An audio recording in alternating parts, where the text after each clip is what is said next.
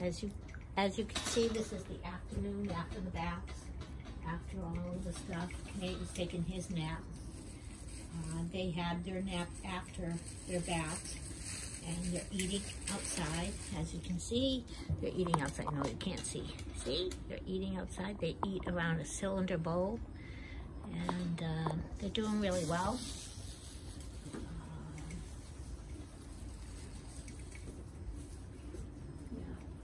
I'm happy with with these puppies. Oh my gosh, goodness.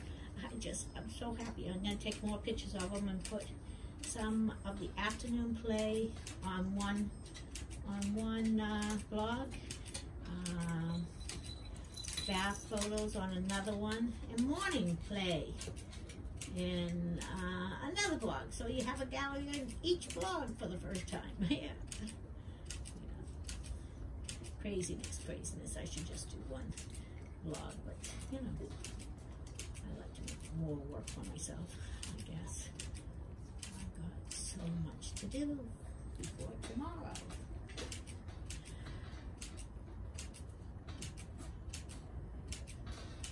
And whenever I'm busy, Dennis likes to, uh, for some reason, give me extra laundry, and I don't know what it is.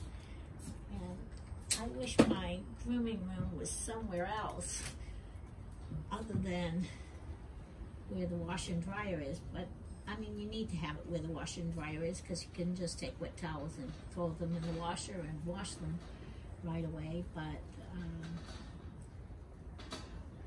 they bring their uh, laundry down and you know figure out fit it in in between doing every one and then goes, oh, you didn't move it on. Oh, well, yeah, I didn't move it on because this job took me two hours. oh, such fun, such fun. I am so happy that they're all clean. We didn't do pads. We need to do pads. Uh, didn't do nails. Got to do nails. But none of it is, you know, a deal breaker for you visiting, so. And um, if I could have put them outside, like it, like it's less work with just myself. I didn't even realize it because Nate was taking the pictures. He doesn't like to take too many, so you're not going to have too many bath photos. Every time he left, I kept trying to take pictures in between and do the puppies. Uh, he had, oh, the phone's ringing. Oh, I have to go to the bathroom. Oh, I have to do this. Oh, I have to do that. So I think it would be easier if I just did it all myself, but I don't intend on having 16 puppies because 16 puppies is a lot of work. A lot of work. And we've got all puppy stuff to go home and all that to do and I'm not sure I'm not sure I'm gonna get it done but I do. I always manage to.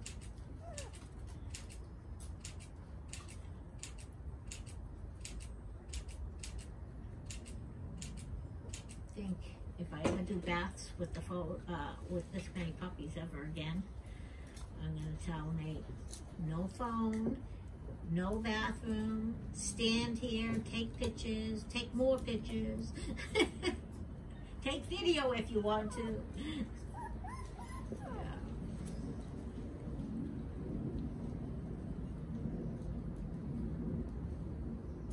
We wash them, we take a towel and dry them and put them in two different crates and put my blow dryers directed at them so they would dry.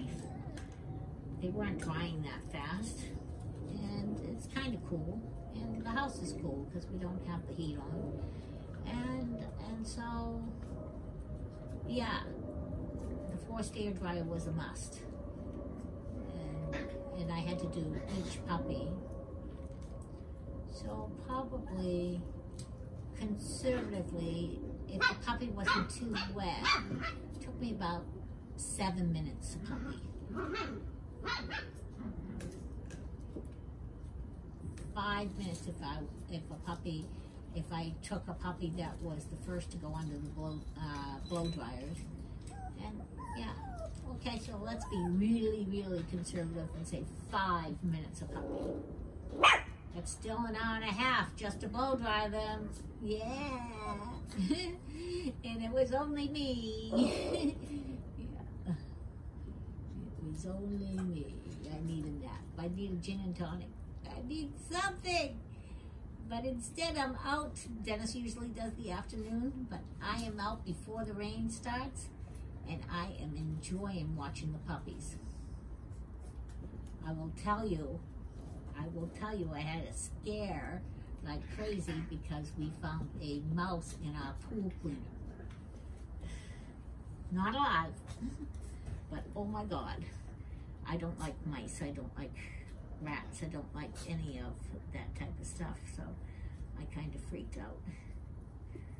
And um, yeah, that was fun. I still can't figure out how it got into the pool cleaner, but you know, it did.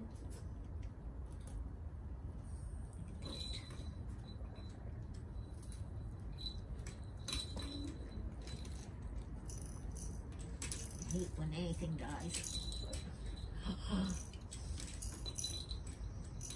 Problem with the pool.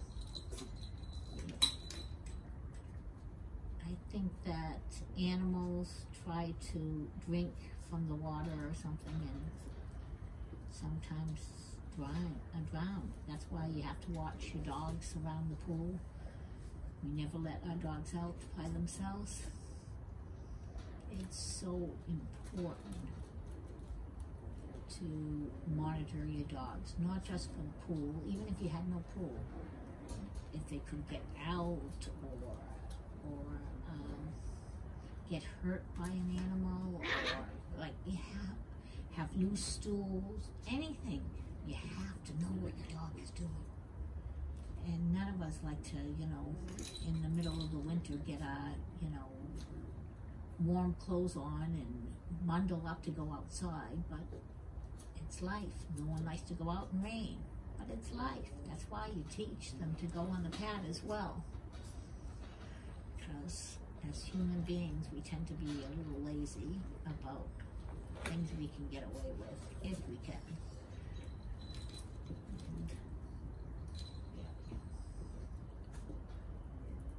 I think it's important to have your dogs monitored. Look at these puppies. They're all fluffy, fluffy, fluffy from their baths. Yes, fluffy, fluffy, fluffy pups. Fluffy pups. Look at how beautiful you are. Wait until people see you. They're going to go, oh my goodness, you grew. You're lively. You're fun. I just hope that it's not too confining in the kitchen.